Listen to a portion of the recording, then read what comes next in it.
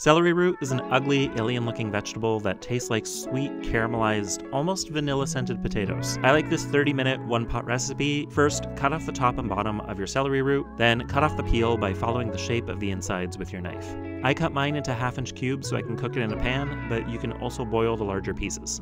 Place a large, heavy bottom pan with a lid on medium heat, add 3 tablespoons of olive oil, your celery root, a diced shallot, and a sliced clove of garlic. Season with salt and pepper, add 1 cup of water, Cover and reduce to a simmer. Cook this for 20 minutes or until the celery root is really soft. The celery root will absorb all of the water, and you can eat it just like this, but I like to mash it with a potato masher for a rustic mashed potato. And you're going to want to replace all of your potato sides with this because it is so good.